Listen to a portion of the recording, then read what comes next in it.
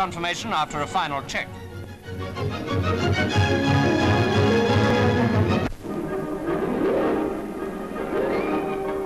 Once again, the Hawker Hunter jet fighter, in the masterly hands of test pilot squadron leader Neville Duke, has established a new world speed record, the 100-kilometer closed circuit. And here he goes.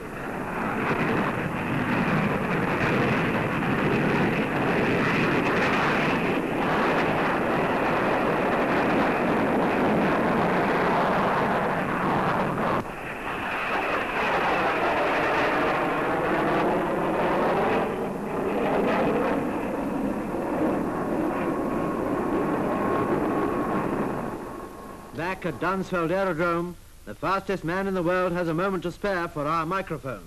We're very pleased that um, Hawkers this afternoon have been able to take the uh, existing 100 kilometre closed circuit speed record of 652 miles an hour um, from the Americans with a new speed of uh, 709.2.